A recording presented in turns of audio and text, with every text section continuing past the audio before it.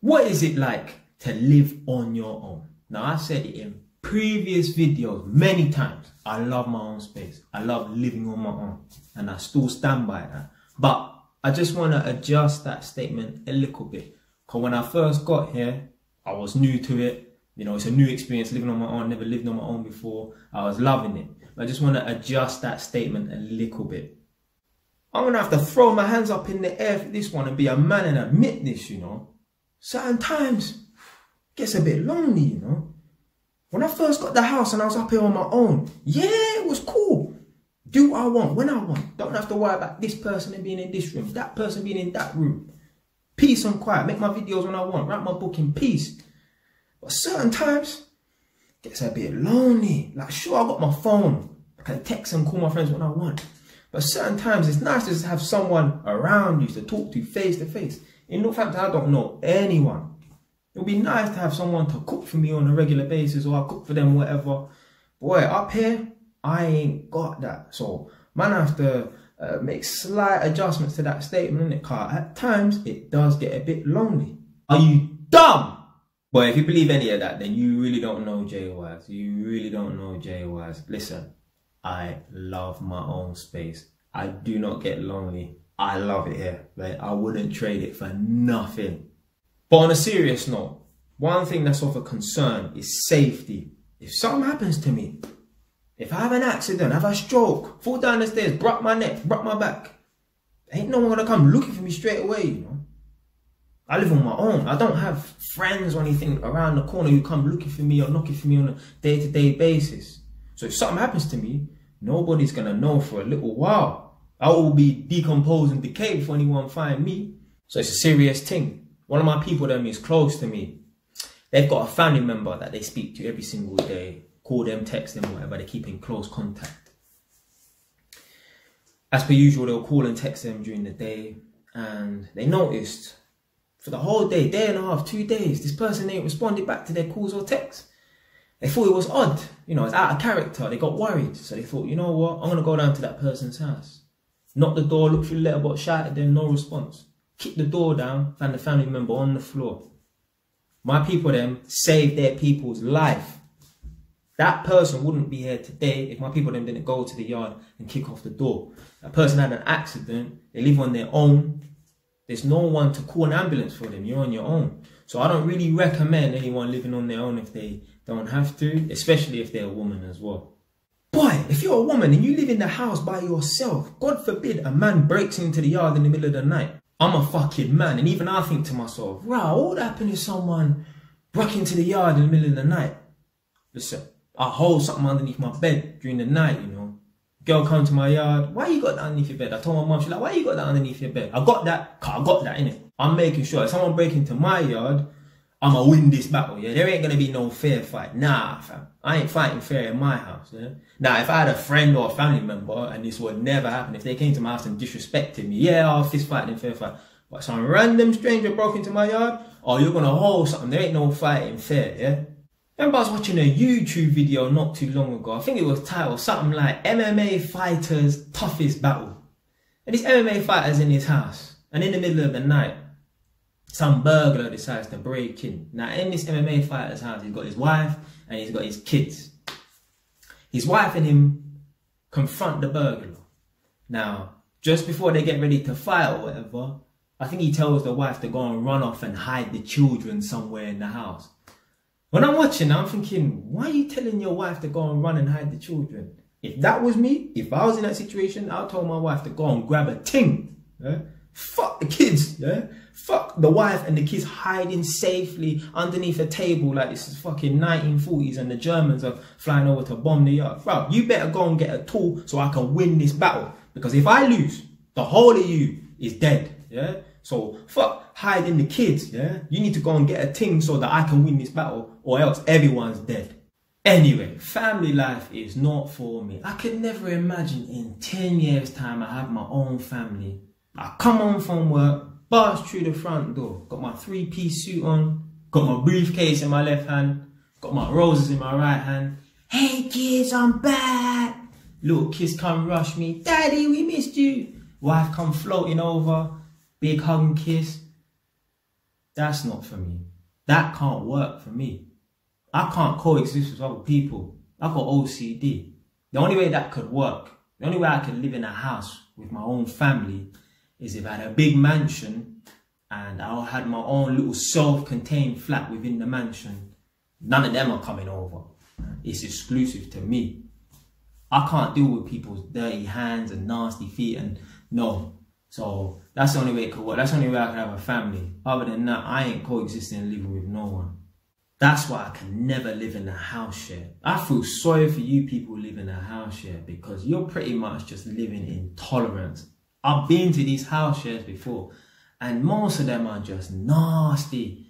If I lived in a house share, everyone there would hate me because I'll always have something to say. Me, I don't know how to hold my mouth.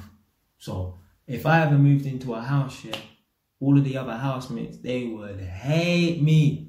See that video I made about nightmare tenants? I know my tenants. They would pray to God. They'll probably just move out. If I ever said, yeah, I'm going to be living up here permanently, they will move out because I pick at everything. I hardly let anything slide. I, I could not live in a house share with anyone. But there's one little benefit of living in a house share. You rent a room, you pay your monthly rent, and that's it. Any problems, the estate agent and or landlord, they take care of it. Yeah, you just need to make sure you've got the money every month. As opposed to if you live in a house by yourself and you own it, oh, it's on you to deal with the problems. When you got problems, you have to deal with it. There ain't no landlord, no estate agent to run to, no mum and dad. If that light's not working properly, you got to sort it out. You might have to become the electrician. That tap's not working in the kitchen. You might have to sort that out. You might have to become the plumber. I've done it. Hmm? Now, obviously, you can always pay someone, or you might have home insurance, but it's on you to sort out that problem. There's no passing the buck. When you live on your own, you gotta cook every day, or at least have food for every day. Remember, I was at my mum's yard. There'll always be food there, at least Monday to Thursday. My mum eats takeaway Friday and Saturday and Sunday, but there's always food there, more time. But when I'm here on my own, there ain't no one to cook for me, you know. So I have to make sure that I have to cook every day or at least have food for every day. So what I always do, I always got a couple ready meals in my freezer just in case I can't bother to cook. But more time I do cook. And when I cook, I'll prepare food for like three, four days so I don't have to do it every day. I'm busy. Don't get it twisted. Just because it's lockdown, don't mean man sitting around doing nothing. And I got my book and I got my YouTube thing to do. And I can't be stopping every, like three, four times a day to be cooking food or whatever. When you live on your own, you gotta do it yourself. Laundry, all them things yeah. Man I had to learn this shit on my own. Now obviously people are showing me how to do stuff, but I have to practice it on my own. You gotta pay bills, fam. Gas, water, electric, broadband, council tax, TV license. Man gotta pay all them things there. It's easy when you live at your mum's house. Easy when you live at your mum's house. You just give her a little money and then that's it. Yeah, she she takes care of the boat. When you own your own house and you live on your own, you gotta break down and pay all those bills. Not a joke. Even little other stuff. If you got a problem with rats, man, I have to deal with it. I have to sort out that rat problem. There's no, oh, mommy and daddy, oh yeah, you sort out that rat problem, whatever, in it. Or you find a dead rat in your yard. There's no, oh, mom and dad, go and pick that up, whatever, in it. Or they ask you to pick it up, so you wanna seem like the big macho man. Oh yeah, I'll go and do it. Listen, man found a rat in my yard. There's no one around me to gas me up, like, or for me to think, yeah, yeah, yeah, I'm the big man. Let me show you how to pick up. Nah, fam, I'm on my own. Yeah, I have to deal with the rats myself. Now I'm just immune to picking up dead rats. Yeah? But there's lots of little problems you have when you live on your own in your own house. Even your fucking neighbors. Yeah? You have to deal with them. There's no, oh, mum and dad or big brother to go knock on the door and sort out problems with your neighbors. You have to deal with them yourself a couple weeks ago, it's like Friday night going into Saturday morning. There's some guys on the estate that I live on playing music at 11 o'clock, half 11 at night. If they're having a house party, that's different. Yeah, you want to play music till two in the morning. If you're having a house party, that's cool. You know, have little shubs, that's cool, innit? Nah, there's some fucking idiots out on the estate at the back of my house playing music out of their fucking car. Standing in the street, talking loud on the phone, dancing. I'm looking out the window, who the fuck? Man are standing out on the estate bouncing a fucking basketball. Like who the fuck stands out on the street at midnight bouncing fucking basketball? Now I weren't even trying to sleep. I was watching one of my JY videos because what I do is when I make these videos, I watch them myself first and then I'll upload them and then put them on public or whatever in it. I couldn't even concentrate. I was like, you know what, fuck this. And they're not even keeping me up, but it's getting on my nerves in it, and I'm fucking miserable. I went out there, I had to stick it on them, but turn the music down in it. So you turn the music down. But I can still hear this music in the background. Now my estate is really quiet.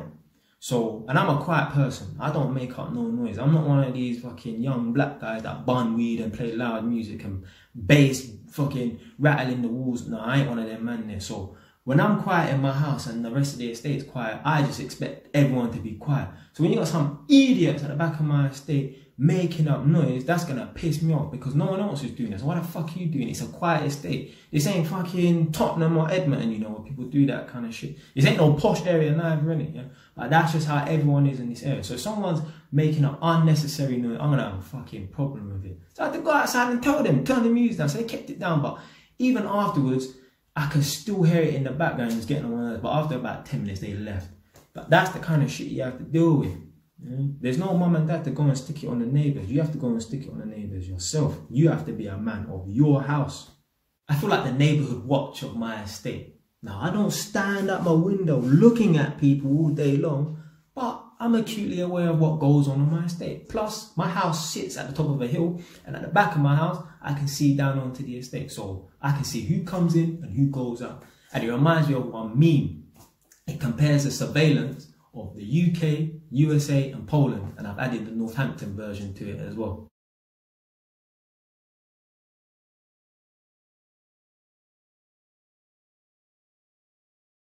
But I can never move back to my mum's house. I feel like I've outgrown my mum's house. Not in a way where I feel like, oh, I'm too big and bad to move back to my mum's house. But if I move back to my mum's house, I feel like in those American cartoons where the third grade is supposed to be in sixth grade. I feel like that. So I'm glad I moved out. I love my own space and don't regret leaving mum's house, man. The next place I move to is gonna be in the middle of nowhere. I don't want no neighbors. I can't coexist with anyone. I just like my peace and quiet. I don't even like hearing people talk next door in their back garden. I don't want to hear no chat. I don't like background noise. Everyone around me, everyone's got a fucking dog. In the nighttime, I always hear dogs in the distance. On my mom's estate, ain't no one got no fucking dog. Not that I know of anyway. People at the front of my house drive down the road like fucking maniacs. Someone's always barbecuing, so the air just stinks. When you bust your window, you got the smell of barbecue in your house. I can't stand it. So the next place I move to, I'm gonna move into the middle of nowhere. Stay wise.